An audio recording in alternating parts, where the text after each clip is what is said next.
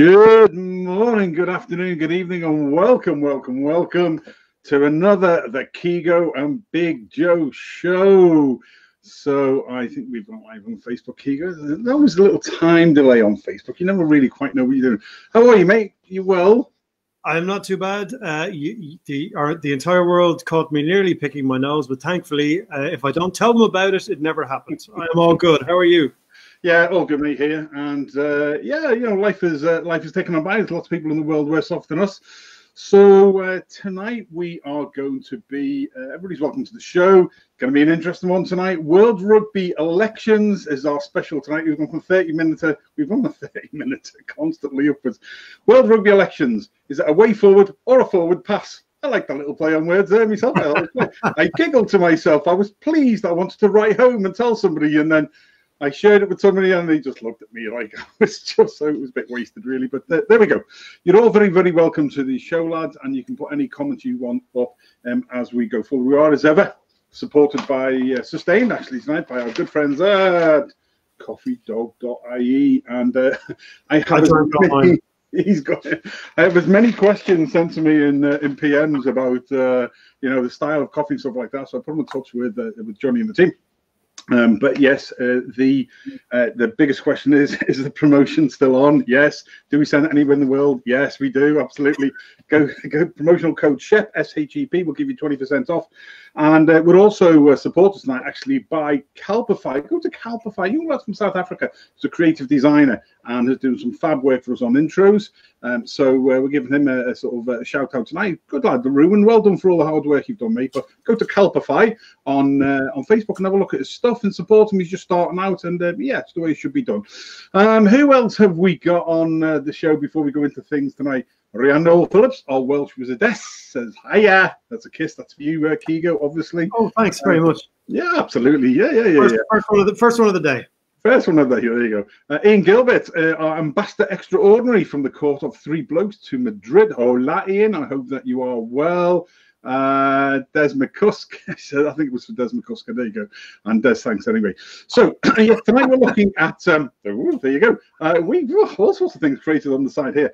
Um, we are tonight looking. Me and Keegan looking at uh, the World Rugby elections coming up. I think it's the 12th of May, Neil, and. Mm-hmm. Um, it uh, you know and whether what's good bad and difference in the post today you'll see uh, that i did for you put the links into the manifestos from sir bill beaumont current chairman and from augustin pichot who is the uh, uh, who is the current vice chair who's who's running uh, against him actually the team uh, isn't it Keego? it's it's mm. bill as current chairman and uh, michel bernard laporte the great french rugby star who is his running mate a little bit of politics statements taken there but there we go so, um, but before we move on, a couple of things in news I pick up today.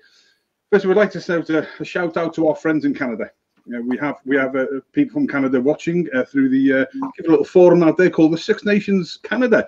There's a there's a forum in Canada who follow the Six Nations. So good shout out to you. Well done, and uh, commiserations to everybody uh, on the death of 16 people um, out in Canada by a, by a gunman in the last 24 hours. Very, very sad. And uh, as if we haven't got enough going on in the world uh, that we have trouble souls doing that. So, our, to our friends in Canada, uh, our thoughts are with you at this dreadful time, um, and to everybody else around the globe who is finding their way through uh, COVID 19. The other one today was um, prop James an Ireland prop James Cronin was picked up, got a month ban for illegal substance.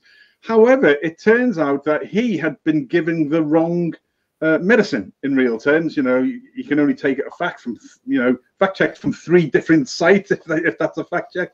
Uh, but it looks like he was given the, the, the wrong thing. You know, I'd be hauling up the, uh, the the person who gave it to him in the first place. It could have been anything in that. It's dreadful. nowadays, you just think that wouldn't that sort of thing wouldn't happen, you Neil, would you? Uh, you'd hope not. Uh, you know, uh, I, I, went in for a sedative and they gave me Viagra once, which you know every dark cloud. But uh, I think the question on this Explains is. Yeah, it's yeah. You gotta you gotta wonder uh, how often this happens. Um, if you do your research on the drug he took, um, just have a look at that without going into uh, into anything that would get get me sued for for all of my worth. But um, have a look, do your research, and I wonder, does this happen a lot? Yeah, I think the um, it, it's very difficult, isn't it, for sports stars? I mean, we have mm. had it in the past, but uh, something like uh, it, it's difficult anyway. our thoughts go out to James actually. You know, the fact that he picked up a ban anyway. There's no rugby on, so it, it just the whole thing. It just makes a bit of a mockery uh, for for me. But anyway, that, that's the two bits of breaking news um, I found today. Um, anything else you picked picked up in the uh, rugby sphere, as uh, Sir Jeff would say? Uh, I haven't. The, the main thing I've been trying to do is avoid news and avoid everything. Uh, you know, it, times are getting a little bit tougher. We got a bit complacent with the COVID thing over the last 24, 48 hours, and bad news again today on it. So, everyone, look, we love rugby. We're going to talk about rugby. We're going to enjoy it, get involved, but just keep doing what you're doing. Keep taking care of yourself. Keep taking care of your family. Don't leave your house. All the rest of your stuff. Uh, normal programming resuming now. Absolutely cool. Uh, Nigel Quigley, White Walker One, um, up there is on. Uh, good afternoon, folks of Rugby Dom. Absolutely. Uh, Rugby that's a different Rugby, thing. Yeah, yeah, absolutely. Yeah. Yeah, I've, I've not seen that written like that. Find, fine folks, the fine souls. Fools, folks, trolls? Well, I, I, don't know what's going on up there.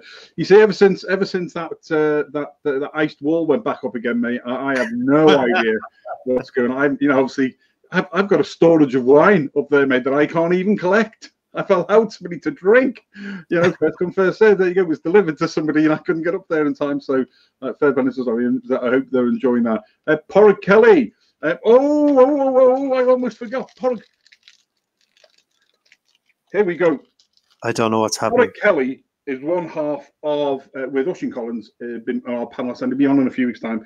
One half of uh, the Second Row podcasters, Connacht fans, and he sent me this. They sent me this the other day, and purely and simply for so for doing a bit of a, a, a pod for them a while ago. And I, do you know what? It, it meant so much. Be, and it's a reason. It came out of the blue, and I it came out of the blue, and I had uh, a handwritten note in it uh, which uh, I don't think I've, I've had a handwritten note if I've got that on right there. But there you go. From the second row podcast boys, Porrick Kelly and Oisin Collins. Thanks very much, lads. I wear that one with uh, pride. I sit in the Connacht Exiles group, as you know.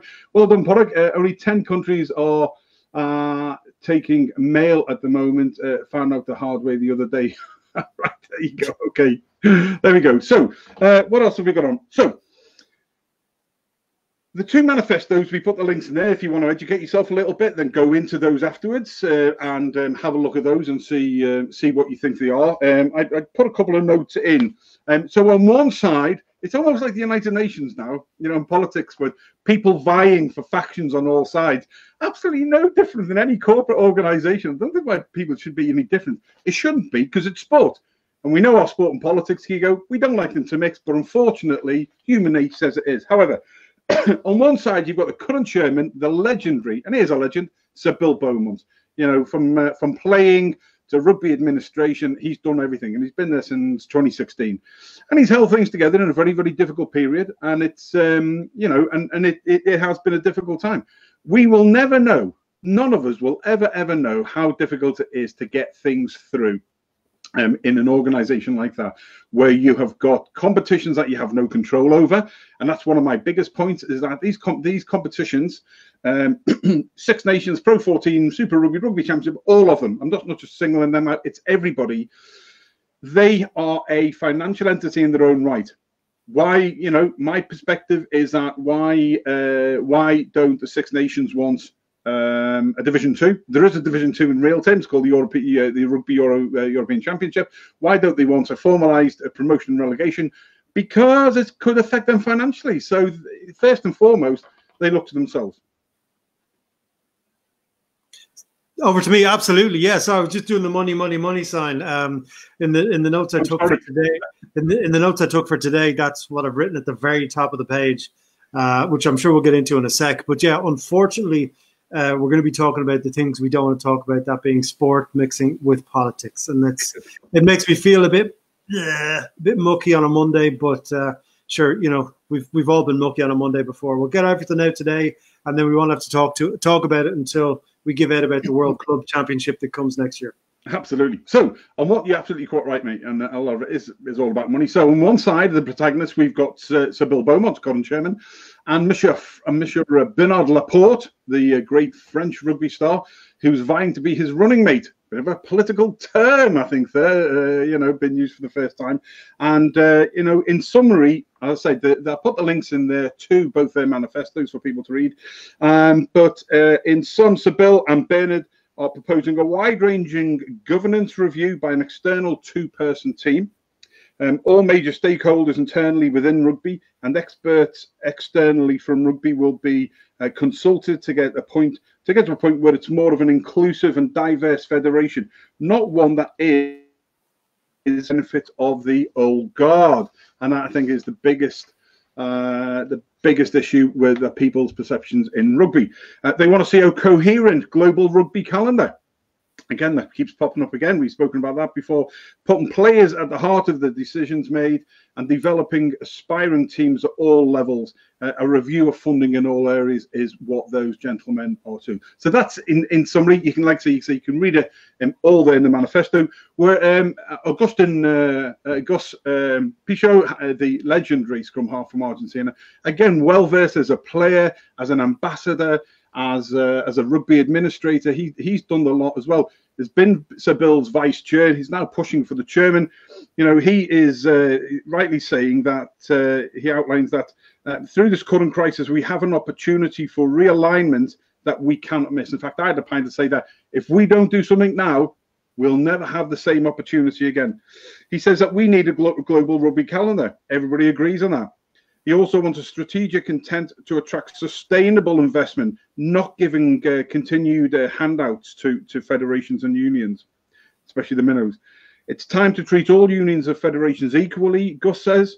Um, he adds that it's time to engage in a more dynamic and modern way and to develop clear rules of engagement uh, where World Rugby can engage with competitions um, and uh, with both countries and leagues. And I've covered the point on that competitions are run by private entities. So what do you do? So both men for me are saying effectively saying the same. There's no there's no major points really apart from those I've, I've, I've outlined. Um, I think that Sir Bill has done a difficult job in the current times in, in the last four or five years. I think that uh, Gus is a new breath and has more of a, there's no disrespect to Sir Bill here, more of a grassroots and minnows focused approach because he's been on that side. So you can see why the, the factions are going sort of from one side to another, blah, blah, blah, blah, blah, blah, blah. And I, it's actually, I think they complement each other well. It's just a shame that they haven't, for me, that, you know, if you were looking for two people to go into an organization like that, who have got a bit of the old guard and some of the new type of stuff, you'd put Sir Bill and Gus together. I don't know. Th- th- there we go. That, that's what they're both, you know, espousing and stuff. Your thoughts, Neil? Well, they've got they've got variations of the same old theme, but you've yeah. kind of the, the, way they've the narrative has been built um, is is you've got the old guard. If it's not broke, don't fix it. Don't look too deeply into what's been promised. Just look at the big picture, not the detail. In Bill Beaumont, former uh, captain on Question of Sport, which is one of his accolades that you forgot to mention, uh, and then yeah, and then you've got Pichot, who who I don't know. He keeps pushing this that he has kids and he sees how his kids interact with other sports, which I think is really, really interesting. Like I, am being silly in the comments when I say I want a video game, but it's it's he's thinking differently, and, and slightly differently, which I think is important as well. Uh, I'm not saying a video game is going to save the day, but it's just different thinking. Everyone wants a different calendar. Everyone wants a calendar that fits together. Fits together. Everyone says they want to look at budgets. Very few of them actually do. You know what I mean? They've been working together for a while, so that you know what, whatever uh, whatever you know what you throw at Bill Beaumont, you will throw it throw at Pichot as well because they were working together. They knew exactly what was going on. Uh, I think the key in this, in terms of who actually wins, and I, I, gave you a teaser before we went live. It's it's of the people who have not declared their vote yet in in, in the voting. So skipping ahead a wee bit, you've got you've got the three I picked out of the list who haven't declared yet. Now maybe they have behind closed doors, but you've got the USA, you've got Fiji, and you've got Samoa, right? Now that's three of, of the 11. Um, three who need massive, massive amounts of money. Uh, you know, Chapter 11 over in the States, unfortunately, which, okay, they, they, they'll eventually bounce back from, but it's a big roadblock after the momentum they've been building.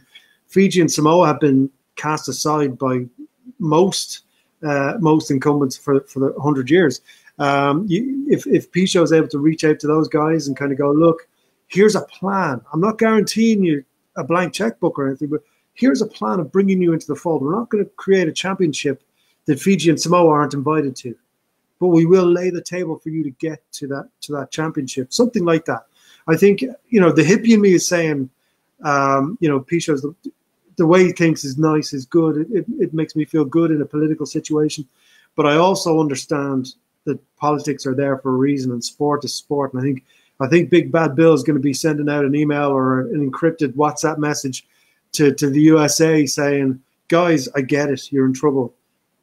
Let's help each other here and, and get him over the line, which means we're we're going into another pretend look at the calendar and another fail.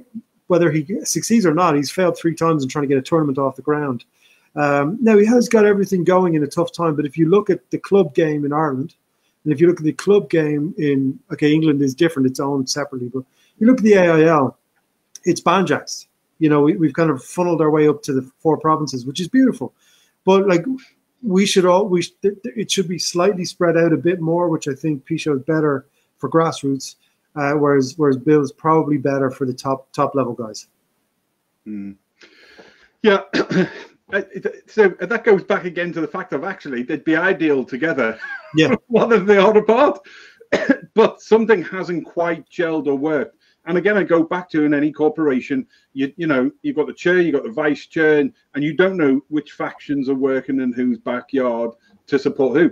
And so actually, you know, when Gus came out about the, the World League, and actually an awful lot of people slated him for, I didn't. I, I, I thought there was a good uh, good methodology for why he wanted to to be able to do that. Excuse me, because for me it gave a leg up on promotion and relegation, the natural Darwinian thing that we find ourselves in now, thank goodness, um, to um, uh, to do it. And so, and, but a lot of people just had their ways of, you know, we're very blinkered. You know, I, I do mm-hmm. think that the northern hemisphere. Well, there are eight teams really in the in the world who have controlled and manipulated, gerrymandered the rugby system. We all know who they are. Recent times we've had the likes of Argentina and stuff like that. That's not negative terminology. That's just a fact I go mm. back to the Six Nations, Scotland or Ireland or Italy or any one of those, they all have one sixth of a control vested interest in the Six Nations because that's the way that the Six Nations company is set up in simple terms. So the Rugby Championship, the European Championship, they don't really want that to go. And it's the same for all the other competitions. Whereas Gus proposed actually that we had leagues that would help people come up. I think what he missed was I don't think the timing was particularly right, and I think that there was missed opportunities. Yeah. One of my big things is that I think that well, people forget actually tier one, tier two, and tier three don't exist anymore. There's no such thing, but we will refer to them as that tonight for ease of understanding. Mm-hmm. so, and, and the fact that people don't even know that anymore. So you've got development and all that sort of stuff. Anyway. But so, I, I, think I think part of the problem. Sorry to jump in, but I think yeah, part yeah. of the problem is we're, we're we're reading, we're all reading the same stuff, and we're kind of we're just saying we're sitting down, we're stationary. Tell us how you plan to do this. It's like any, it's like our local elections, you know, for a couple of months ago. Tell us how you want. Of course, we all want to pay no tax, want to play rugby all the time, and have cheap tickets to, to the Aviva. It's not realistic. So we need we need the two candidates in this case to tell us the roadmap. Exactly. Now, roadmaps, you don't always get to where you want to go by how you meant to get there. But if you give us an idea and the idea is thought out, uh, everything from the timing of the announcement to your presentation to can Keego understand it? Can Big Joe understand it? Because they're the they're the they're the brainwave activity is very different than those two people. If if if we can understand it, anyone can understand it, and that's the key. But that's the information that we are struggling to find. Um, and you're right. And and even the manifestos for me were a bit wordy watershed. You know, yeah. The, the, the bits that I summated, i.e., the, the little bits I've read out, were the summation bits that I've mm-hmm. taken out of the, their manifestos. Um, and it wasn't easy. You know, um, I took them from Twitter. anyway, it, it just it, it wasn't helpful. So I want to see you know, the strategic level, that's great. Okay, yeah, we want to make the world great place. We have a global rugby thing, blah, blah, blah. Right, how are we, what are the operation, how are we going to yeah. do that? What are the key points? What are the 10, 12 key areas mm. broken down of who's going to do what? Covering, you know, if you like, two, one, two, and three. How are you going to develop that? Mm. And then, you know, and then the oper- operational pieces, how you deliver that, as you said, in the roadmap, what, what, what are the phases you're going to go through? Mm. Doesn't matter whether you get there, Yeah. At least if you if you get if you you put a you, if you outline that, because then people like me and you who are thickos in real terms, you being more cleverer than me clearly, um, are are um, we can read that and go right. I know what they're trying to do because the points are there. I know the the roadmap or the timeline or when they're going to do it, and I Yeah. know technically how it's going to be delivered. Mm. So how does that affect me and grassroots fans and fans around the globe? That's Yeah. all that needs doing, but there isn't that there, you know. And I think Well, that's what yeah, it's it's like they're scared of failure, which is understandable. Like saying you're going to do something and it doesn't happen, but we all understand that it's it's you know this is just your your roadmap that you've checked out, researched, and this is how you see it going. It doesn't always go that way. But the only difference is, I think in in uh, it must have been one of the ones you sent me. Uh, Pichot was talking about a ten year financial plan. You go, that sounds great. Tell me about it, though. What do you, what does that mean? Are you going to save a tenner a year for ten years? What's happening? So you know, like the, our mortgage advisor says the same thing, but he doesn't actually go into detail. So I, I spent all the winter heating money already. So, but you kind of go like, just talk to us. We're not stupid. We're interested, and we. It's not like you're going door to door in a local election talking to people who don't want to talk to you. We all want to talk to you. We are all interested. We are all everyone watching this are hardcore uh, rugby supporters and, and fans in there too, but supporters who want everything to go well, who want everything to be. Even if I can't afford to go to Lansdowne Road, I want it to be full. I want I want Sea Point to be full down the road. So tell us how you're going to do it. If you don't do it, I don't trust you. It means it means you're hiding something. You know what I mean? If someone says I'm going to climb Everest, but you do no training, you're never going to climb Everest. And, and they've got to get away from the vested interest. Yeah.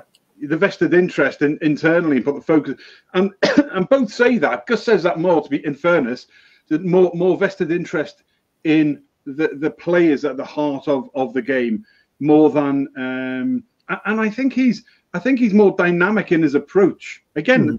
Ladies and gentlemen, welcome to the show. It's uh, three uh, to the Key on Big Joe show. Uh, there's a, there's a great there's a bottle of Malbec I owe Keego for that one. Um, the uh, Keego and Big Joe show, we're looking at uh, World Rugby elections, um, a way forward or a forward pass. Um, so the, the the problem is there's nothing sort of outlined um, directly. Uh, as, as you point out, um, I've just picked up on this one here. White Walker one up in Ulster. Nigel Quigley says Leinster bought no parries. Apparently, I didn't see that in the World Rugby election roadmap uh, personally, but but I'll uh, you know if I see Sir Bill and, and Gus uh, on when they do the plat, they should be doing a platform thing, shouldn't they? Imagine that. You know, like We'll get politicians them on do. next week. We'll get Yeah, them on yeah, next yeah. We, we could have them on next week, couldn't we? You know, so, you know, and the people can question them. Uh, but you're welcome to the show, ladies and gents. Actually, if you've got a point and you want to come on into the studio with me and Keego tonight, put a message up there and I'll send you the link and you can come on in. Um, in fact, I'll stick the link up in a minute once Keego's speaking. Right, who else have we got on? Yeah. Uh, so, so we'll give you the address to Joe's house, and you just show up and stand beside him. But you've got to bring, a, you've got, yeah, you've got it outside, and we'll put the camera out. You've got to bring, you've got to bring a bottle of Malbec with you though, because I'm, I'm running short at the moment. Uh, some bloke called Eel Keegan's complaining to Porrick that he didn't get one of these lovely badges. It's awful. It's awful. I can't believe it. Uh, Gerald Williamson says that uh, Gerald, good evening to you. We hope that you are well and Navan. Uh, Mr. Pichot, Gus uh, wants the Lions to tour America. What chances? I saw a lot of uh, bad feeling. Money, money, money. money, money, money. Um, absolutely. I understand why he's doing it because it's a very marketable thing. Um, But again, until we sort out, for me personally, until we sort out the rugby calendar, until we sort out the playing hours, if you're going to put players and, and welfare at the heart of everything, then you've got to cut down on what you're doing. That means you've got to get a. It goes back again for me. that you've got to get a grip of the competitions. How many games they're playing, working with the union. Are they? Here's a question. Are World Rugby a bit like the United Nations, a toothless beast? Great idea, but if they have no control over the competitions and therefore the the players and the welfare, how can they dictate anything? They can't. They're like the person down the road shouting to turn their music down. The problem is that they're the balance sheet at the end of the year is going to look good because they have all of that money, but they do not own anything. Okay, they own the building they operate out of, I think, but they don't own the Six Nations. Um, they, they've very, very little input into into the Premiership. Pro 14 keeps adding teams every other year, so you, they they may be plus in the money column, but they don't actually own anything. They've, it's basically they've hire purchased all these things. And so if they they can say what they can say what they want, but at the end of the day, Gallagher's Premiership and the Six Nations especially, who were really really against the promotion relegation thing, which was knocking uh, Bill's Bill Beaumont's idea on the head there uh, last year. Um, whereas if they if they thought if Six Nations thought about it a wee bit, it would mean that the last day of the Six Nations is important for everybody, not just the top two or top three who are in the running. You have a playoff, and and that'll fill a stadium. That'll put a load of people on their couch watching the watching the telly. So I think that's a good idea that they were maybe frightened of. Uh, but I think the problem is they basically hire purchased rugby, which is grand for the fact the balance sheet at the end of the year. But in reality, it's not. It's not massively important. They can't really do anything. How how do you get around it, Neil? I'm just putting up a guest link. People who want to come in. Um, well, uh, the problem is now you can't. They don't have the money to buy back uh, the things that they've leased out. Like they can't. They can't all of a sudden say to, unless they buy out Gallagher's Premiership as the main sponsor. If you're the main sponsor, then you have a bit of clout. But in reality, all of the all of the clubs have an owner, an independent owner who doesn't really care about the World Cup, doesn't really care about the Heineken Cup. If we're being honest, they want to win the Gallagher's Premiership. Okay, Heineken Cup, they do care about.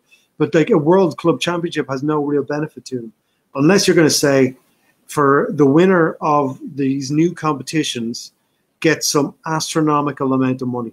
That's the problem we're at at the moment. If you say mm. the winner of the World Club Championship gets 100 million euro, then it doesn't matter who owns the competition, the clubs will want to win that. So that's the only way you can do it, unfortunately. And we hate talking about money. You and me, we hate it. We hate the politics. It's a sport. But if you've got to use those tools to get the job done, uh, sometimes you got to do bad things to do the right thing, as my hitman friend said. yeah, and and you know that. so there we go. Uh, yeah, no, I I, uh, I totally agree. Um, you see, you talk about your hitman friend. There. Are you drinking a, um, a gin and tonic there with a slice of lemon in it? Are you in, are you are you in the room with me? Oh, yes. Oh, is that gin and tonic with a slice of lemon, Mister Keego? The beast, and, and, two novelty. I don't know if you can see that. Two novelty ice cubes. The Beast of Bray, the Wicklow Warrior, the Couch Pundit, with novelty ice cubes and a slice of lemon. Who would well, have thought ladies and gentlemen? I've got to, I've got to stay trim during this pandemic. I've got to keep Her Royal Highness interested. So we're, we're on the gin and tonics, and it's actually slimline tonic. Good man yourself. Excellent. Uh, there we go. We know what Keego's drinking tonight. Uh, yeah. So he says, um, if I had a vote and I'm not sure why I don't. That's a very good Fair point. point. Why? Fair point. Z always comes up because she's a professor, you see, because she's clever. That's why we have people involved to, um, to, to... Uh, we're, we're going to get you a t-shirt made, Z. I'm a professor and I'm clever. Yeah, exactly. she is, and a top girl as well. So Z says um, she doesn't know why she doesn't have a vote, and we're going to discuss that now because that's excellent. Uh, she'd vote for Pichot. Uh, uh, Quinton is on from South Africa. Quinton Van Ice Cream. so last week. Quinton, great to have you on, mate. Uh, Pichot's done the same. Play administration. Yeah, absolutely. Um, and and I'm a huge. I, I, voted. I didn't vote. I voted sort of in the virtual world for uh, for Sir Bill last time, and uh, but I my vote this time would be for Gus um, to um, to to because I think he's going to. Add, I always go for the underdog. I always go for the minnows, and I want to see natural Darwinian promotion and relegation. I want to see tier one teams as they were, you know, the top nations supporting tier two and tier three, and doing that. I mean by um, actually, in fairness to him, Eddie Jones has done some of this before by by coaching other teams and giving them kit and equipment and stuff like that yeah. and playing them and giving them the funds from that. So you could pick, you know, one tier two team as well as a couple of tier three teams and they support them. But we've got to cut down on the amount of games to be able to do that. That's the only way you're going to develop. Goes back again to the money thing of the competitions won't allow that because the sponsors and the TV rights. So that's my aspiration, and that's yeah. how I would simply do it. If you want to develop glo- global league where you have got promotion relegation all the way through, from the bottom all the way through, so that's how they're going to aspire because they know that one day, like like Accrington Stanley in the round ball game, they could get from the Northern County, Northwest Counties League to the Premier League. It is technically possible to be able to do that, but we don't have that in rugby. Again, there are issues for me where the the I don't know whether they are franchises actually, but where World Rugby has its region. So look at the debacle, Keego, with Rugby Europe over the Rugby World yeah. Cup. That was just disgraceful. You know, how, how difficult is it is it for teams to aspire to get into World Rugby? Look at our good friends in Gibraltar, mm-hmm. you know, blocked by a close neighbour. It is alleged. I can say all it is alleged, but but these are the things. Let's make it easy for teams to aspire to be part of, you know, World Rugby. You join World Rugby, you're allocated into the region. You know, it's not down for the region to determine whether you can join. Piss off. That really irks me because if you know there's got to be a criteria i accept if you can't meet the criteria but the country wants to then that's where we've got to start helping them so there's a number of that's that's the key that's the key because okay in I, I think in football back when i used to watch it to play in the champions league you have to have a certain capacity in your stadium that's a, in simple terms that was the you, you, even if you qualify and you don't make it yep. you can't play so the rugby equivalent would be you want to do it you're getting close but obviously funding in, in the case of our islander brothers and sisters in places far, far away, Gibraltar, uh, where they're trying really hard, they're working hard, they're thinking differently. Um, that's where the funding should start, and then it funnels back to the guys like us, like England, like New Zealand, who have um, a steady stream of sponsorship support, uh, a full stadium all the time. You know, you've got to be smart about it. But we've also, you and I, and all of us watching, have to also be realistic. And this this is the bit that hurts to say out loud. At the end of the day, our beautiful game is a business. And that's they've got to answer to Sky Sports, they've got to answer to all these various people. Um, you know, it's it's it's it's a bit icky to say, but we've got to balance those things. That's why if you've got to use the business, say Pichot's new idea or whoever's new idea of the World Club Championship in starting in 2022, the winning club gets 100 million euro. Now it's sponsored by 18 different companies and they all give 10 million each, whatever. But if you want that to happen, you've got to take the power away from, uh, you know, this, the likes of the Six Nations or whatever, and that comes down to money. I love the Six Nations. I think the only thing missing is promotion relegation because that gives everyone who is just outside that tournament something to aim at. It gives someone, it gives everyone something to be excited about on the last day of the tournament uh, and it just it's a no it's a no lose situation. But they're scared of change. See, the thing is, there's a lot of people who turn around and have said to me, "Yeah, but Shep, you're missing the point here." Probably, uh, you know, re- retired former prop, you know, clearly um, that the, the problem with the Six Nations is well, there's only one team close, and that's Georgia. And uh, actually, Italy keep thumping them in the past couple of years. Blah blah blah blah blah. So you can have the same thing. I don't give a monkey's toss. I don't give a monkey's toss whether those teams in the, second division can't get there currently because systems will be put in place where they can arrange to to you know they can work towards that with support if you've got the system and build it they will come now promotion relegation is whoever got the wooden spoon plays the top yes. of the division two simple and if yes. and if those division two teams it takes them 25 years to to win one game to get up there, then it takes them that long. But you've got the system in place that they can aspire to. And that's what both candidates are saying. And bugger all's been done. It goes back again. Why? Because they're controlled by this, you know. I, so I find it, it, it it's just annoying. It's just annoying because it makes sense. It like, are you are people actually going to tell you that in a playoff situation over a decade that Romania aren't going to beat Italy once? You know that means that uh, one year, one year in ten, they're going to get Six Nations rugby, which brings money to them. And, and maybe that's what they're worried about because the amount of money for the union, because they would lose that. Well, actually, there's ways around this because the Six Nations, each each union owns one sixth of it. So yeah. actually, even if they they could still have a control and monopoly on that, because the prize money is for the teams involved, not the profits involved yeah. for the six teams. So if Italy or England or Ireland, just so we don't offend our Italian friends, went down one year, getting beat by Romania or Georgia, who had a freak year and just went up. Yeah. Then, you know, so what? Italy would still have one sixth of the profits because they own the company. Yeah.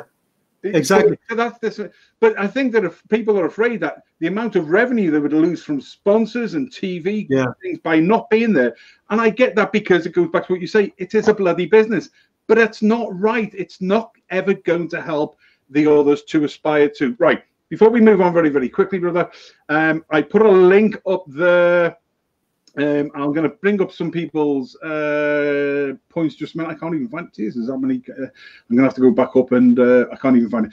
I put a link up there, guys, that you can come into the studio and you can pose a question or you can put a point uh, across. It says um, https uh, app.blive.74.guest. If you want to do that, click on that, come in. I'll see you in the studio and then we'll add you in. Right, Keego, who have we got on? What, what are people saying to us? Uh, Noel Phillips, uh, she's with uh, Sir Bill. We know that one. Um, um, she says, I'm with the consultation for players, but they don't have a good track record of it. Uh, no. Uh, Ian Gilbert in Madrid says Pichot will be better for second tier rugby than Bill, he thinks. I, I agree with that. Uh, Z says uh, Quinton uh, Van Ice Cream. The, the, it's a Fab Hansen quote. Oh, I missed that one. I missed that one. Do we need to go back up? Politics and rugby is like kissing your sister. It's a it's a kiss, but it shouldn't happen. that's a different podcast entirely. That's, yeah, uh, it, is. Yeah. But you know what, mate? If that had been on the other week, you would have won. A, you would have won some uh, coffee. that's true. Yeah, you know, that's almost what. That's all. That's that's almost what Nigel could have been saying in that one, or what Joe Marler, Joe Marler said. Joe Marler, mm, Mr. Tickle uh, said to said to your man. Uh, but there we go. Moving on. Uh, Keego says uh, he wants a video game, so he's looking for Gus. Uh, Gregor Galway says he's with Sir Bill. Uh, Nigel Quigley, White Walker, one of the Ulster says behind the uh, behind the, uh, the, the massive um, ice curtain says uh, it doesn't matter uh, who wins uh, if they try to change anything, they'll be outvoted. And I think that's what happened to Gus last time. Actually, you're very true, Nigel. Clever man as well, Nigel. Uh, toothless tiger in many ways, but not the tiger that we've seen previously. right, who else have we got? What have we got here? in replying to Ian Gilbert there. Uh, Nigel Quigley goes on. Uh, Pichot wants uh, X Games for all nations annually, and the clubs will never back that. Again, it comes back down to club versus country, money people, leagues versus in competitions, etc., etc., etc. And again, it goes back to my: you take the you you put you put the onus on the unions to support tier two and tier three. Then actually, the leagues, the competitions, Neil, have to fall in place somewhat. Do you agree? Yeah, yeah, oh, 100%. And the pro, we, we keep going in this circle, and I, I'm starting to think we're in Groundhog Hour. Like it, it all comes around to this: if the if the Pro 14 become the Pro 16, become the Pro 18, none of this is going to work. You know what I mean? If if Gallagher Premiership keeps, they'll add in a couple of teams. It all doesn't work. It all falls apart. So the problem is you can't fight these guys because they own they own their little piece of the world, and we all know that in our lives, and our working lives. You, you've got to navigate. You know, my you know, people say my, my baby is the most beautiful baby, when in reality it's got two heads. We've got to. Wish somebody said that about me, mate. To be honest. but it, but the only way to do it is to beat it with business, and that's the problem. Yeah. Um, 100 mil to win the club championship or to win a country championship solves the problem. So let's get the money in.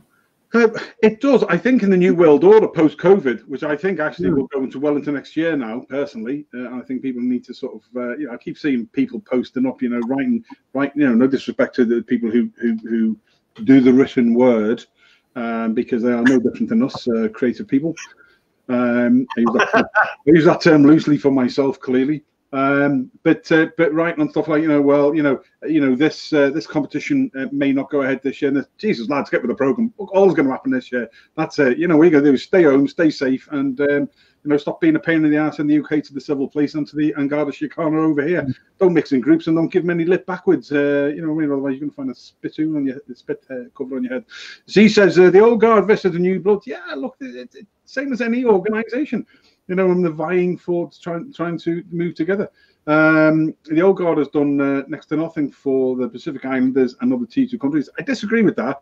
There is actually, if you if you look at, and I know we've covered this, if you look at actually all the things they have done, we just don't see it as much because mm. we don't see the tangibility that Keego spoke about before. So um, I, I think there is things. But again, as an overarching organisation, Z, you know, if we give the onus back to World Rugby overseeing regions that aren't involved in politics, Rugby Europe, and that's a public thing, so I can say that because that was just diabolical, dreadful, um, and and making tier one teams support tier two and tier three teams, then you're going to take an awful lot of that problem away because part of that is going to be done rather than World Rugby trying to force it through. But uh, we, we, we, we will see. Keego. Yeah, it's it's a tricky one because we've if you put on the other hat, if you own the Six Nations, okay, and you you got these full stadia uh, for the six teams in general, the six teams that are there, and someone comes in and says, Joe, uh, that tournament you have, right? It's great, uh, but I, I want to take over.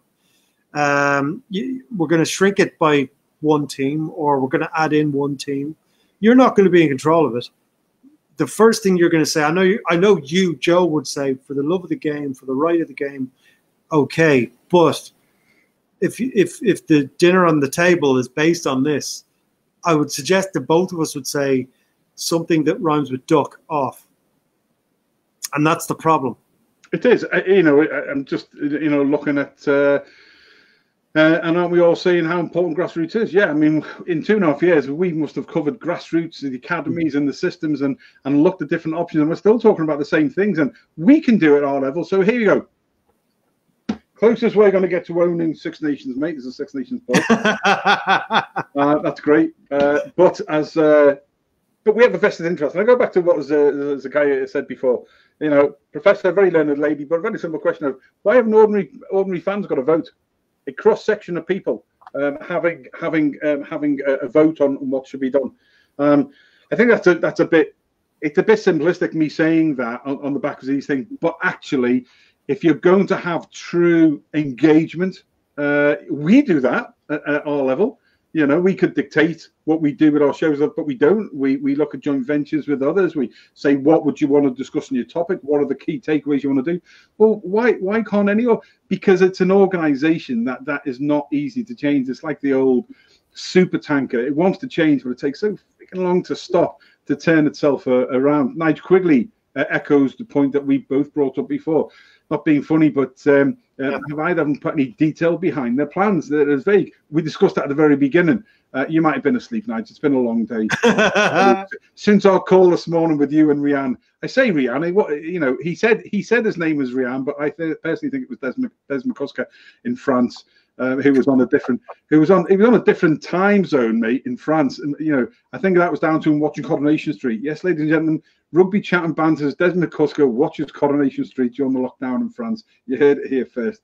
It's embarrassing, I know, but I, I wouldn't give him a vote if, he, if and, that's the kind of behaviour he's into. I wouldn't. Oh, dreadful! And he's on next week's show as well, talking about the British National Lions. So uh, you probably have uh, Bernard Laporte uh, in in the Lions team to go to Germany on. So Des, we're looking forward to that. Great crack this morning, you two. Mm. Uh, Nigel Quigley, uh, Z replies to says um, uh, they uh, they, they knew Kegel didn't want any. we go anyway. Context, yeah. So, how, if we're talking about the fact that World Rugby is a bit of a toothless beast and it doesn't matter who gets in because they'll have no control because it's money and it's competitions and blah, blah, blah, blah, blah, blah. What, what's the first thing that you would want them to do, Neil? Well, I think I think that the the ten year plan is a great idea if you if you pick one thing. So the problem is, uh, again, a lot of us are doing all right in terms of work, but ticket prices are too high. Uh, but but the money needs to go into our local clubs. So uh, I think that's the key. I think all of us listening and watching and all this having a bit of crack. When this whole COVID thing disappears, find your local club, go down there and, and get involved. Watch the games. Uh, if you're young enough, go train. Um, that's where it starts, and, and that's where you feel important is in your local club. It's when it gets up to this level you feel unimportant. If they were to give all of us a vote, the only proviso behind that would be you would have to be a paid member of your local club. You'd have to pay your sub, and you would have to have your membership number, blah blah blah, and that's how you vote if you wanted to vote. Now the problem with that is you're then looking at millions and millions of votes.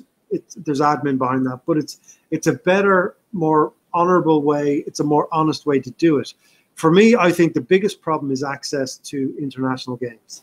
I think mm-hmm. I think I think the prices are far too high. So if they keep the prices for Ireland, for example, at the same price, they need to do something for everybody else. So whether it means renting out the RDS with a big screen and a band and beer, something like that, you know, to help to make everyone feel involved because at the top level, uh, as much as I love singing Ireland's Call, whether it's in the Lucky Boozer or in the living room, I don't feel involved because I can't afford to go there unless I don't pay a bill. And I I have to do that. Or, or, or take yourself to Dublin Docks for the weekend.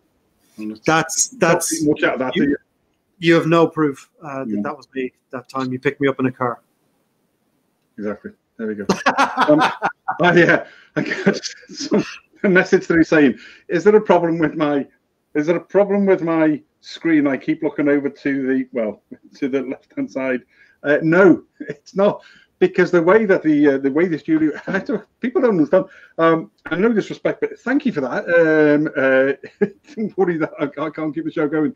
Uh, no, what happens is is that the the back office studio all all the comments that are coming in on Facebook as it's going out live are on my right hand side. So I'm not ignoring Keego. We're looking at a problem down there. In fact, here we go. I'm going to show you what happens there. Jesus, lads. That's look like at Inception. that. That is the control of it. It's Keego waving at Keego, waving at Keego. And so that's that's that's how we are set up. So hence the reason I'm looking here and everywhere. I'm putting comments up and bringing uh, slides and things in. There we go. So we go. Here we go. So you had a, a bit of a, a background look into what we're doing. Um, what else have we got? Uh, Desmond McCusker uh, has finished watching Coronation Street in the end. And, uh, has said that uh, bang on Neil, us BS fans, bog standard. Uh, what's what it's gone now? Uh, What do you mean us? What do you mean us? I, I know a professor and she is smart. I, I, absolutely, yeah. Uh, there we go. There's the link I put up uh, before, lads. If you want to come onto the show now, click on that link. You'll end up in the studio and you can come and chat with me and Keegan. We'll put you live to the world. So there we are. So that's the link you need to click if you want to be a guest. Uh, Johnny Whopper, Johnny, good evening to you, sir. How are you? Uh, World Rugby are the monkeys and the money men are the organ grinders. Yeah, so you know, some may think that. Um, it, but money, we do need. We've discussed this before as well. We do need money in the game, but it's how much it controls the game, so that you know games are forced to be on on a Thursday or a Friday or a Saturday or a Sunday. You know, European games because the TV want them to be on a 5:30 on a Sunday in France, and then you've got to get people back. That's not helping the ordinary fans, Neil, is it? That sort of thing. So, but again, people, companies who run competitions are only interested in their own investors. So well, we had we had in the was it the Heineken Cup where we had Connacht and Munster playing at the same time? Was it two or, two or three rounds in a row? yeah, yeah, And yeah. you go, well, like that's that's not going to work ever. So, who do we think is most uh, most likely to get through and why? Neil Keegan. Likely Big Bad Bill because he's going to play the game. Uh, who I would like, I actually would would like some something new without disrespecting what has happened. I think fresh thinking is important in 2020. Things are going to change when this this thing lifts off us all, and I think we need someone who does think slightly differently, even though they both work together and they are both very similar in reality, because otherwise they wouldn't have worked together. Okay, live with that. Nigel Quigley is saying that uh, uh, two things: the Lions tour to the USA, which is what Gus uh, Pichot is is espousing to. Uh, do we really want to see the US teams hammered for three weeks? Um, and relegation uh, in the Six Nations at this point is just swapping cannon fodder until the tier two competition level improves. Neil Keegan. Can I just grab one one quick thing about touring USA? Yep. What they're going to do is they're obviously going to get the HSBC money, but they're also going to go out to tender to these states in America who will pay massive money to get 60,000 expats, mad Irish people into a stadium buying beer. So, like, business wise, it's a great decision. Uh, and the lads, it's not really going to be a taxing game for the guys who are brought over, which helps us if you put your blue jersey back on, or your red jersey, or your white or your green jersey. They're not going to be battered for that Lions tour if they're going to America. They're actually going to be chilling a wee bit because it's not going to be taxing for them. But it's all money again. It, but and it also comes down to the amount of times, the amount of games and minutes the guys are playing as well. If you sort that out on a global rugby calendar, uh, and they're playing less games and they're playing more, you know, engagement things, you know, less is more. Less is more sometimes. Then actually, you've almost got a uh, what's the old basketball team? You know, it's that sort of thing. I understand what Gus is saying, and I agree that actually the British and Irish Lions, British and Irish Lions, like the bar, probably second to the Baa-Baas for promoting the game of rugby around the globe. Next week we'll be looking at the first the two-part series on whether it's relevant now and icons of it and whether it should continue. But um, uh, uh, we've gotten here. Uh, in fact, sorry, first one, first one. Desmond says, get Nigel in. Uh, Nigel is on next week. Uh, so there you go. Yeah, I was speaking a lot of sense there. Nigel on next week for part one of the Schneider's Lions. Uh, Jose Antonio, uh, uh, Mateo Garcia says in Spanish. Oh, Jesus. Well done. Well done. I'm, I'm, uh, I, I, hope, I hope I got your name just about right, Jose. Um, so, but speaking in Spanish, I'd, I'd, love to, brother. I'd absolutely love to.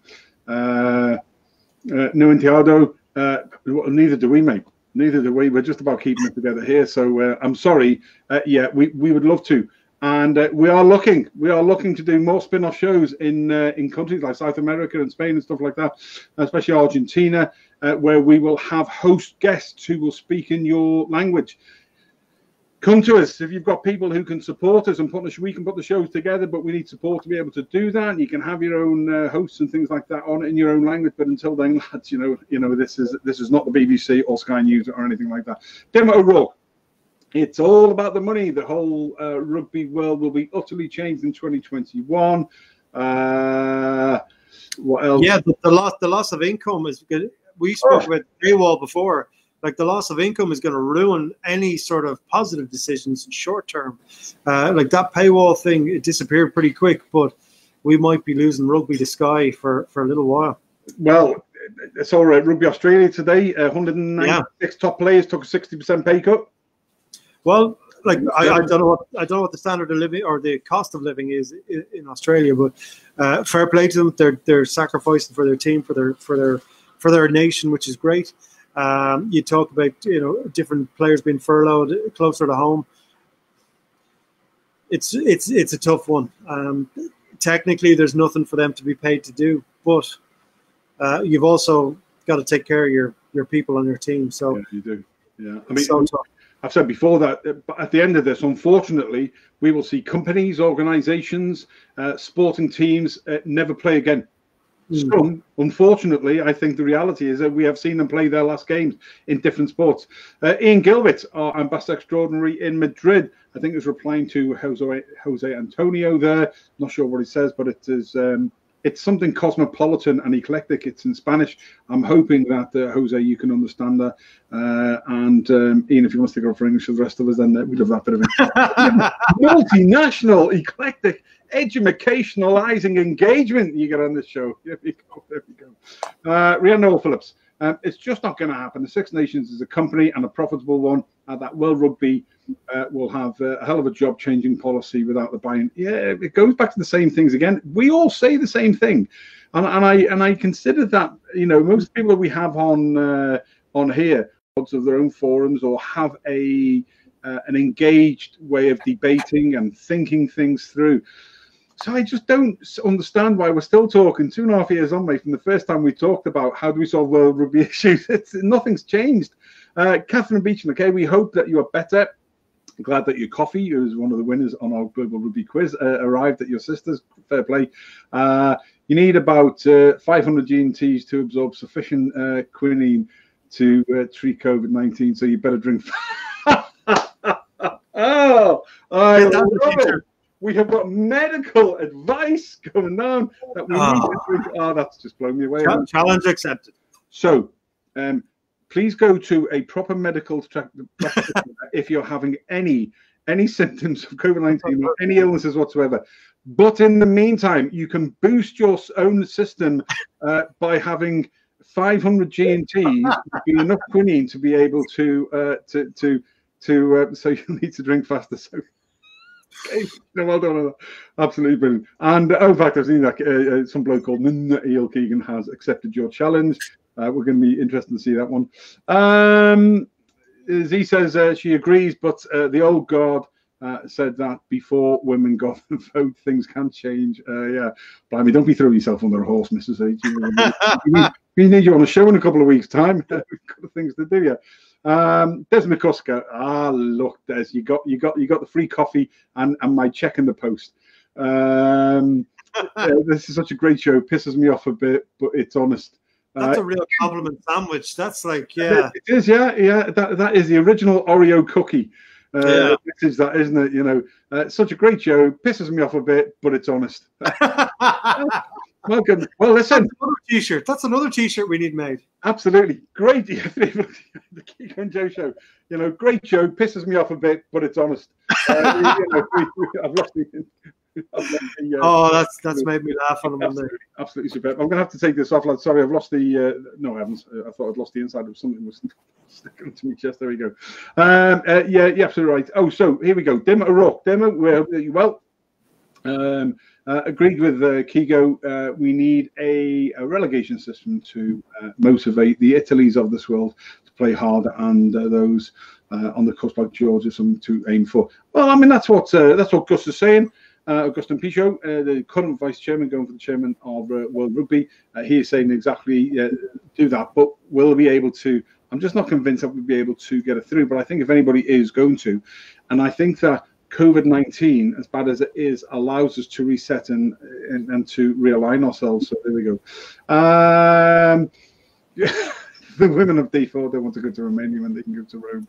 Uh, I didn't want you to read that one out. I didn't want you to read that one out. That's true. Mate, you know what happened. Uh, what else have we got there? Nigel Quigley. Uh, every season, uh, so they get five games to uh, to prove themselves seriously when uh, what's happened in uh, the past it's only part of the solution, I think. And again, it comes back down to, for me anyway, the solution is that World Rugby put a global calendar, put a global calendar in place. They put a global league type thing in place where people can aspire to. They have tier one nations as they were, supporting tier two and tier three in coaching and equipment and playing games and giving them additional funding to bottom through. There's three great things straight away now that will, for me, bring some of those teams on far better than what we're doing now. And here's a question if not this, then what? If not this, then what? Because there's nothing else being espoused by anybody that I can see. Um, in fact, here we go. Pablo Capella. Pablo, hola. Our Argentina, our man in Argentina. Uh, here we go. See, uh, he says that many people from uh, uh, Argentina uh, are joining the group and asking for translation. Yet yeah, we have me absolutely right, and and uh, I know that we've spoken about this before. And, and we, you know, we I sit in some South American groups, and, and I spend the time, as as you know, Pablo, going in and using Mr. Google Translate to send messages and stuff. Um, but un- unfortunately, we just can't do that on the show at the moment for every language. So we do want to do a South American Spanish uh, show with host Pablo. You know you're on our list to be one of our hosts, but we need to find funding and support to be able to put the shows together. So uh, for our friends in South America and Spain and any any of the countries where you've got your own language, we want to do that. I'm in contact now with Rugby Asia and with Rugby India. We want to be doing things in other people's language, but we can only do some. We are not Sky. We don't have no funding currently to be able to do this. So, Pablo, you're absolutely right, mate. And um, I, I, will PM you tomorrow and we'll look at seeing what we can uh, do. Uh, what else have we got? Um, Z says that uh, that's going back to to Keego's and to um, I think it was uh, yeah into Catherine's uh, comment that she's watching in a dry state in the Middle East. Yeah, uh, Ian Gilbert, oh, it, it's awful. It's awful. Z, you wouldn't like it at all. Absolutely. Ian Gilbert's actually just replying there to to our to our Spanish friends our Spanish speaking friends uh, across the globe, and you're all very, very welcome to the show. Not enough time to instantly translate for him. Um, I checked him out. Uh, plays uh, plays mirror rugby, uh, but not serious. Oh, I see, uh, but not serious few. Invite them to take a long walk on a short pier. Wow. well, there we go. There's a, there's a, there's a solution. There, are other, there are other solutions as well um, out there, but Ian, but uh, yeah, always very valid uh, having a, a point on there as well. Johnny Whopper, what about uh, the Island Store, the US? Yeah, we've covered that one, uh, as well as making it a rugby marketing roadshow. I think that's what Gus is saying, Neil, isn't it? Yeah that he yeah. wanted to be a bit of a raise awareness. It's a high profile. It's more. You see, you could almost do. You could almost do a British and Irish Lions sort of B team type thing mm-hmm. for that type of thing, which your, your top marquee players aren't getting overplayed. Yeah, I, I think what we can. Yeah, I think what we can do. I think if we put the money thing to one side, we've battered that dead fish. So we we know that. So if we look at the Lions going to America, what does the game gain from it? And so people in America are going to see packed out stadiums, uh, hopefully with top quality ball um, and their their home nation playing. Now, whether they bring, uh, as the last comment there, Australia, New Zealand over as well, and have the Lions tour a round robin tournament in America, that's completely different. But if you, the Lions tour in America, again, money aside, I actually quite like that idea. I, I like the idea of Americans seeing the game, jam packed stadium, top level ball, really, really good play, um, followed by handshakes afterwards. None of this nonsense that you see in American football, if you call that a real game. Like they get to see it uh, at their time zone, at their required time. They're made to feel important. Like you always say, Joe, that's what we got to do, to people. They feel important. It's at their time. They can have a beer. They can watch it. I don't see anything wrong with it. I actually see it being a good idea. Yeah, I, I, I agree. Again, it comes down to the amount of time the guys are playing. And mm. for a lot of people, the Lions is the pinnacle in the northern hemisphere. I know it doesn't include France, so no disrespect to them or Italy, but it's the pinnacle of uh, really the northern hemisphere rugby in many ways. In many ways, going across the globe. so, does it detract from it? It's a point I'm no doubt in, in next the next two week shows that will be brought up to uh, to, to cover that. Ladies and gentlemen, we, we uh, Jesus, we're up to 60 minutes already. You're Welcome to the show, the Keego and Big Joe show, prevent, presenting World Rugby Elections Away Forward or A Forward, past supported by our um, by our good friend Ruin at uh, Calpify, who's doing our intros now for us, and sustained as ever by our good friends at coffeedog.ie getting us through. So, uh, uh, Des McCusker in France says that uh, Ken Barlow's vote for Bill Beaumont apparently that's just come up on Coronation Street. He's a gentleman. Nige Quigley has a serious point up there. Uh, this is going to be interesting next week because Nige, Des, and Rihanna are all on um, episode one of the Lions uh, show, uh, which will be quite uh, interesting. But Nige says he'd prefer to see Georgia put a team in the Pro 14 as the Jaguars have done in Super Rugby. Uh, yep, you know why not? Uh, you, you, know it, it, that's that's another thing that you uh, you could do. Z says um, the money thing is a double-edged sword. It's a balancing act. Um, I just don't like the way it's ruling it, but she realizes that she is. Well, she, she's coming from a place where the, the union owns the owns the game or owns half of the game. Yeah. I think Z commented earlier on, like they own half of the game, so nothing gets done without their approval. Like they had forward thinking. We had forward thinking after the fact, which doesn't really count. Like I, I think, speaking about the Lions taking uh, tension off the players in minutes, if you were to make it the Northern Hemisphere Lions as opposed to just the British and Irish Lions, I know that affects the, the Sky Sports marketing, but that brings uh, that makes the player pool bigger.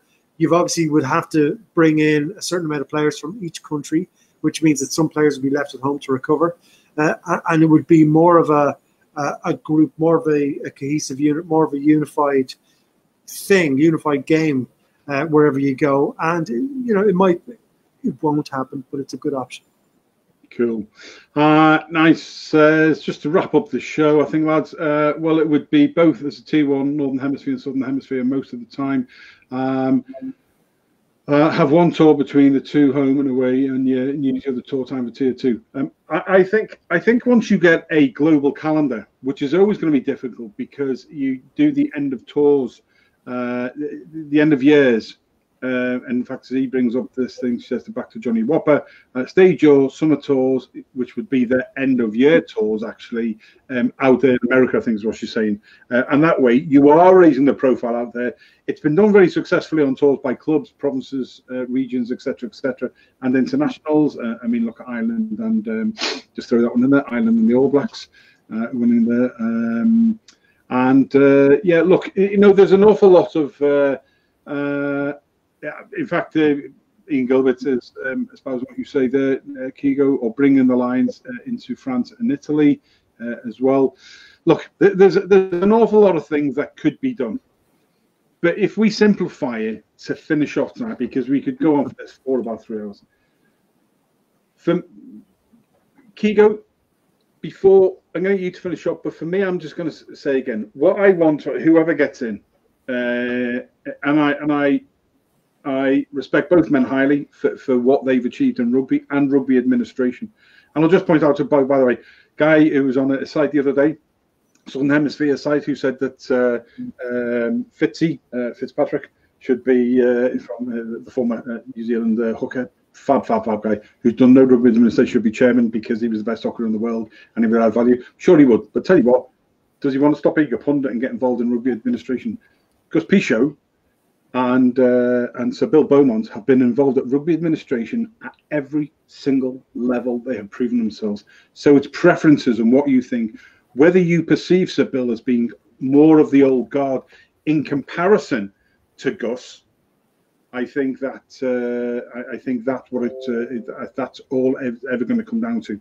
So for me, I want to see World Rugby get a control of the competitions and have that engagement with the competitions and get them to buy in that it's more uh, important for people. I want tier one teams to be able to. I want a global calendar. I want a global league, and I want where, where teams can aspire to to rock themselves through.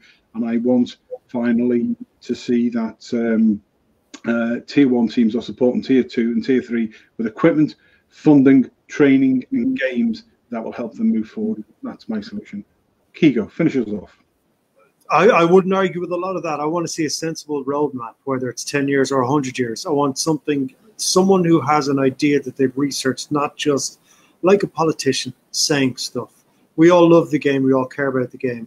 Um, if we see it going in the right direction, and I think most of us agree on everything in this instance, I don't see we would have a problem whether it was Bill or, or Pichot, whoever has the most cohesive and realistic roadmap for the future of our game with the big dangling carrot of money around it, uh, they'll win and they should win. I, I, just I hate politics in sport. I hate politics in our game. The honesty on the pitch gets destroyed by the politics off it. So uh, whether if anyone here is in their in their grassroots club, don't play politics. Play the game. Uh, good man yourself. Ladies and gentlemen, uh, you have been watching, and if you've only just joined us, because I'm conscious that we are conscious that around the globe, uh, you know, people are waking up in the likes of New Zealand uh, and Australia and the Pacific Islands. There's an awful lot of all these other countries as well. Um, this is the Keego and Big Joe show. Uh, looking at world rugby elections, uh, a way forward or a forward pass. Do you agree with it? Who do you agree with? So Bill Beaumont and his running mate, uh, the French legend Bernard Laporte, uh, and they are legends, guys. So I use I don't use that word too often, uh, or sorry, too much, but I think they, they are legends. They've proven themselves. So his running mate, so Bill and Bernard, Monsieur Bernard, um, or Gus uh, Agustín Pichot. Um, for you know, who do you want? I think it's who you think will add more value across all of the levels. And that's why, for me, as much as I admire Sir Bill, everything that he has done at every level of rugby administration, I am pimping for Gus because I think he will bring more to bringing the old the old tier two, tier threes, and grassroots. I think more over the next five years, especially with the way that funding and COVID nineteen and everything that has has done to that. Go back to the beginning of the show, watch the show, put your comments in on the links that we put in. We we did for your uh, for ease, we put in both of the manifestos as much as they are manifestos. You know, there's not much tangibility there. there. We discussed that as well uh, to, today. Uh, Keego's quite right. We really need sort of that's if you like the strategic bit. Yeah, yeah, it's okay. But what are the operation? What is the detail that that you're going to do, and when are you going to do it by? So that ordinary people like us and our viewers and everything else can have a look and see where that is going to go. It's been a really interesting chat. Um, I made a command decision while I've been on the show tonight that I'm not going to do a Wednesday show because we're going to let this particular show run. And we're going to reshare it on. Uh, on Thursday, we will after th- people know that we've now got uh, a new show. The second show of this is the Springbok and South African Rugby Roundup, which we did as a test uh, uh a week last Friday. It was hugely successful seven and a half thousand people watched that, and we asked asked whether we could do another one. We are doing another one on Thursday, where we will be looking at a whole pile more of stuff of global rugby, but based around uh, Springboks and uh, South African uh, rugby roundup, and we have uh, former Western Province scrum-half Anton Shyatt on there, and we have USA head coach. Uh, the uh, legendary Gary Gold on the show on Thursday. So I don't think it's actually fair to Keego and to the views tonight. Do a show on Wednesday, so we're not going to do one on Wednesday. We're going to let this run, and we get asked to reshare this. We will reshare this again over the next couple of days, and then Thursday we will do, and I think that's more pertinent to, to do this week as well. So, in the future, uh, next Wednesday show though, uh, will be part one of the British and Irish Lions when I'm doing. We are doing a three boats of all the boat is doing a joint venture with Rugby Chat and Banter. We've got fans in five on. We've got a fantastic uh, uh, organisation from the UK called Be a Local Hero, who have got a phenomenal idea of keeping businesses going, voucher systems until they reopen again. So we've got them coming on.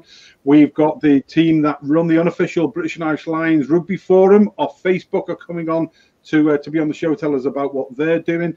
And then we've got the team from Rugby Chat and Banter. We've got Rihanna Phillips, we've got Nigel Quigley, and Des McCusker, if you can stop watching EastEnders and Coronation Street in France, who we're going to be talking to as part one of the British and Irish Lions show next week will be about uh, relevancy.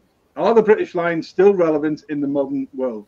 Uh, and and can and, and, and why is it relevant? We'll be looking at icons. They'll be looking at icons um, of the previous tours and memorable tours as well. And then the following week we've got Pro 14 Rugby Banter, who will be looking at a match day 23 or even the squad 40, the match squad for the uh, the touring 41 as well. So that's the next two weeks as well.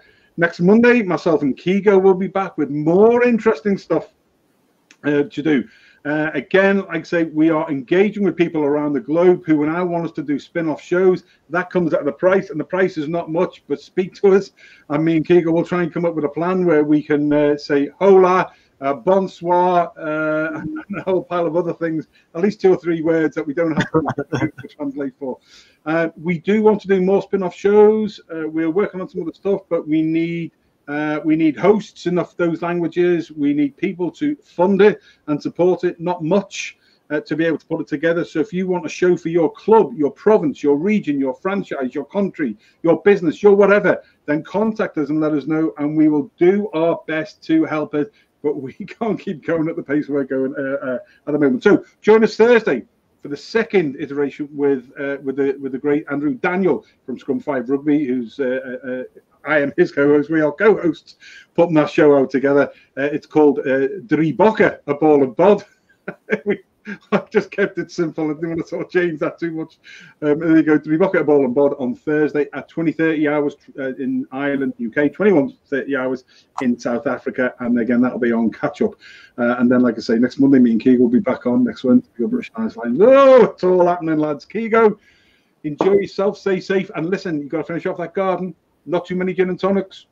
That's it. Only 483 to go, so we're all good. Absolutely. Uh, stay safe, everybody. And, and Catherine Beechner, thanks very much for that. Um, where I've, I've, now got to find a way of getting enough uh, quinine uh, in slimline tonic and enough bottles of uh, various bottles. If you if you if you make gin, by the way, if you're a gin an aficionado and you want to send, send uh, and be a supporter of the Keego and Big Joe show through gin, we are very susceptible to that. So PM us, put a message in, let us know, and we will take gin. And you can be one of our supporters. You can have your you can have your logo up there. We'll you can get you can get on the show and tell us why you know why your gins are better than like that. Hey, Jesus way. Oh look look, I'm getting rosy red cheeks just thinking about uh, you know, 100, 100 different bottles of gin there that we could have until Thursday. In fact, it was Kate just Kate Beaton at the end. Uh, remember, keep drinking. yeah, absolutely. Keep drinking, but keep drinking alone where you can. Keep away from each other. Uh, to, from Z, thank you. Uh, uh, Mari, uh, good night. Uh, until uh, Thursday, uh, Keego, stay safe. You and your family, mate. I will uh, talk to you in the in the back office in just 30 seconds. Until then, got a meal of mahagut. Keego. Bye.